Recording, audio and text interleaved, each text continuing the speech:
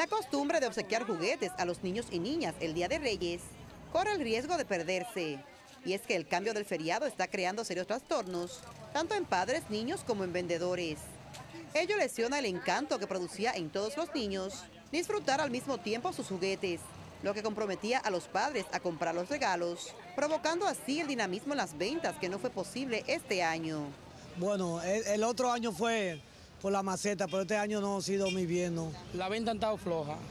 Según eh, cambiaron el día y todo, entonces según la, la economía también y en diciembre, la gente que tenía el dinero invirtió en diciembre, eh, vino esto muy rápido, tú sabes, la venta han cambiado mucho. Este lunes muchos niños se quedaron sin recibir sus juguetes, mientras otros con mejor suerte acudieron con sus padres a comprarlos. Dile, los estamos comprando, dile. ¿Te lo están comprando? ¿Y qué tú quieres que te dejen? No, ¿Qué tú quieres que te compren? una bicicleta. Bueno, ha estado flojo, pero imagínate, uno tiene que hacer el sacrificio, uno tiene muchachos, imagínate que uno, uno puede hacer. Sacar donde uno no tiene. El bajo dinamismo comercial también afectó importantes arterias como las avenidas Duarte y Mella de la capital, en donde la mayoría de comercios cerraron sus puertas. Ángela Sánchez, Informativos Teleantillas. Como las